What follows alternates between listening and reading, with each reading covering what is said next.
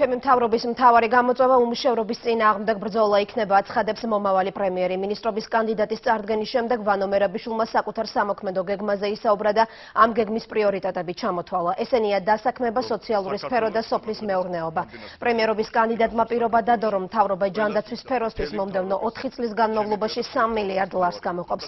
თანხა ყველა მოქალაქის დაზღვევას მოხმარდება მომავალი წლიდან კი პრემიერობის კანდიდატის დაპირებით. ყველა ოჯახი 4 წელზე გაწერილ 1000 ლარიან ვაუ ვაუჩერს მიიღებს.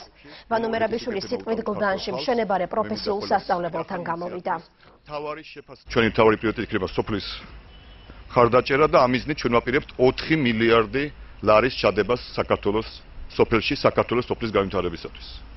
ჩვენ გვაქვს დაგეგმილი უახლოეს 4 წელიწადში დამატებით 5000 კილომეტრი გზა ავაშენოთ. ეს არის მინიმუმ 40000 ახალი სამუშაო ადგილი. ჩვენ დაგეგმილი გვაქვს საქართველოში